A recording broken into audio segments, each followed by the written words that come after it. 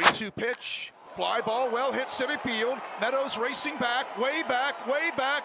It's over his head. One hopping off the wall. Urbaez to second. He just keeps on hitting. Double for Urbaez.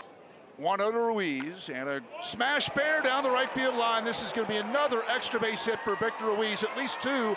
Ball in the bullpen, and Ruiz will stop at second base. Swing and a miss, and he struck him out. Number six of the game. Right center, can it get in the gap? It will. Extra bases for Urbaez. Heads to second, nobody covering the bag there. He'll go in standing. Double, his second double of this game. Line drive, base hit left field, Dragons on the board. Urbaez scores. Ruiz has his second hit of the game. He's red hot. Ground ball slowly hit. This is going to be a tough play. Stockton, bare hand pickup, throws and got him. Nice job.